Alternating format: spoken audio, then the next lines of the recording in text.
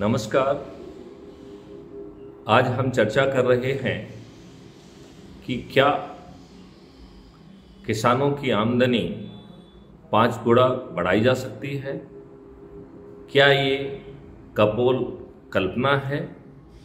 या वास्तविकता में ऐसा कोई मॉडल संभव है जहाँ किसानों की आमदनी पाँच गुना बढ़ाया जाना संभव